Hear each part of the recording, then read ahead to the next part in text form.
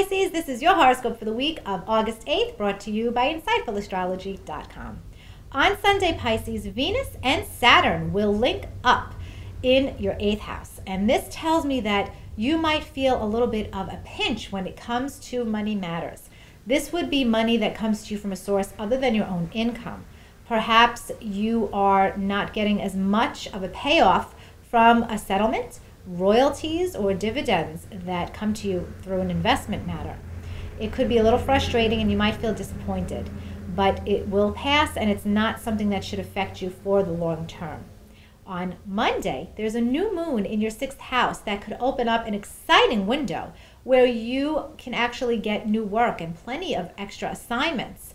So that could definitely change finances for you. And be sure to direct all of your energy towards obtaining these new jobs and projects. Send out your resumes.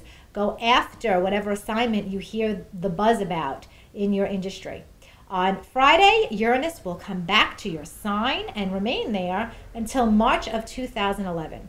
Now that Uranus will be in your sign for the final round of personal revolution, you might really shock other people with the changes that you go through.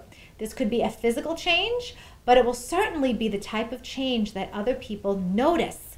One thing's for sure after the cycle is complete, you would have been revolutionized from the inside out.